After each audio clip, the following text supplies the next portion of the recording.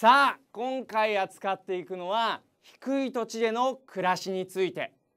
今日見ていくのはここ。さあ何平野だったっけ？そうそう濃尾平野だよな。濃尾平野というのはどういうふうに書いたかというとさあこういう感じだった。さあこの濃尾というのはどこから来てるかっていうと戦国時代に斎藤道山が治めた美濃の国。そして信長が治めた尾張の国。この両方合わせて濃尾平野というふうに言うんだな。さあこの濃尾平野。低い土地で人々がどういうふうに暮らしていったのか。その現在の様子というのを今日は潜入捜査。見に行ってみよう。さあこれが実際の濃尾平野の様子。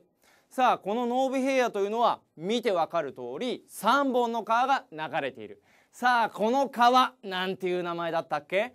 そうこれが木曽川。そしてこれが長良川。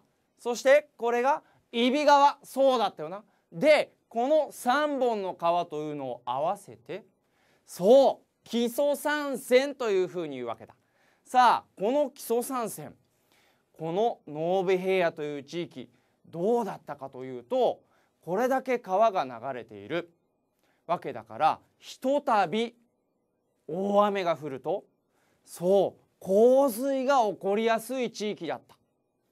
これは現在の姿だけれどもかつては川がもうめちゃくちゃ入り組んでいてそこの間の集落村々というのはまるで島のようだったと言われているさあこの地域洪水が多かったわけだからどういうふうに人々が暮らしていったのかというと例えば江戸時代この木曽川の左側の地域というのは最初確認したようにそう尾張藩だったよな。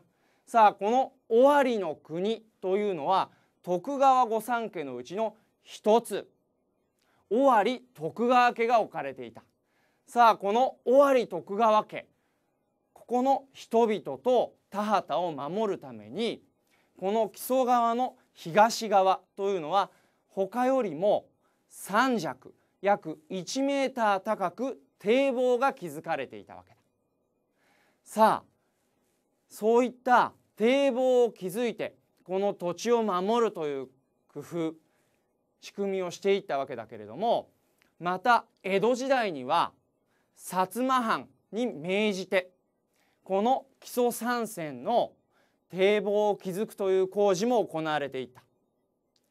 そして明治時代この三川基礎三川を一つ一つ分かれた流れにするために分流工事基礎三川の分流工事というのが行われていてこのような姿に変わっていったわけだ。さあここでの暮らしかつてどういう暮らしがされていたのか実際に見に行ってみよう。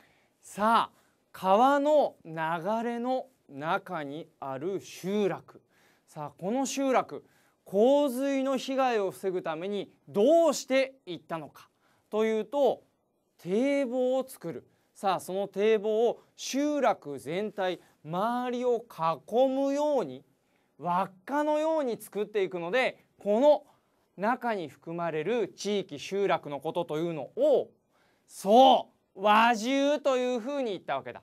さあこの和獣と呼ばれる地域実際にどういう様子になっているのか堤防の間にどういうことになっているのか。さあこれを断面図見てみるとさあ和獣の中というのは堤防の間に囲まれていてそしてその中に田畑やそして人々が住む家普段住む家というのがあるわけ。これを母屋というふうに言う。さあ母屋の横小高く土が盛られてそして石垣の上にこの建物があるよな。さあこの建物って何なんだろう？実際この建物の暮らし。これも潜入操作してみよう。さあここが実際生活をしている母屋。そしてその横に作られた小高く土が盛られて石垣造りのこの建物というのが水屋というふうに言ってこれは洪水が起こった時そのために作られた建物なのね。さあこの中の様子実際どうなってみるのかこれも見ていってみよう。さあこの建物中を覗いてみるとさあこれなんだかわかる？そう。これは緊急時避難のための船。これが備えられていたりそして避難時の食料だとかというのも用意されている。そういう小屋なのね。さあこんな水屋。これもかつての和獣の暮らしだったわけだ。さあじゃあ今は濃尾平野。和獣の暮らしを見ていったわけだけれどもさあまた別の低い土地の暮らし。九州は筑紫平野に行ってみよう。